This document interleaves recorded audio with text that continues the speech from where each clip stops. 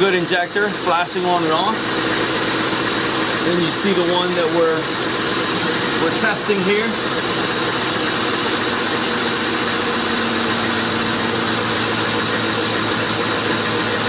Got no pulse.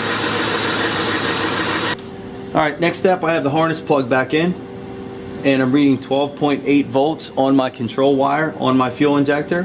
One quick way to verify that you're on the control wire is just simply unplug the injector while you're still back probing that. See it drop to zero volts. Sorry, my meter just shut off there. Plug it back in, it should go to 12. If you're on the feed wire for the injector, it would stay at 12 unplugged and plugged in. You see 12.8 volts. All right, next step in, in identifying do I have a computer problem or do I have an open in the wire is just simply take the same measurement at the computer